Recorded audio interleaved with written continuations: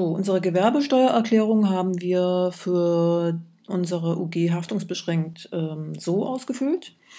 Ich gehe jetzt mal die wichtigsten Felder durch. Das sind auch nicht viele, nur das Deckblatt und auf dem zweiten Blatt ein Feld. Also Finanzamt Steuernummer hier oben eintragen, dann Unternehmen Firma, schreibe ich jetzt mal irgendwie Beispiel rein. UG. Dann Art des Unternehmens, was macht das Unternehmen?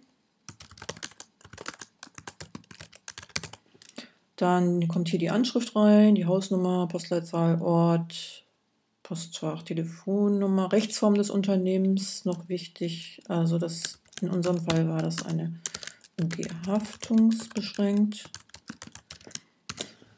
Also hier oben Art des Unternehmensprodukts, also was macht das Unternehmen und äh, Zeile 8 Rechtsform.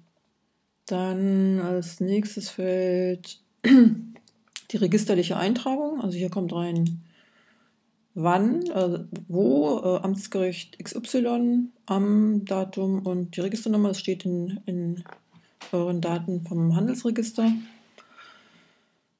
Dann hier, das war für uns nicht relevant. Nein, nein, nein und auch kein Hausgewerbe. So, so viel zum Deckblatt.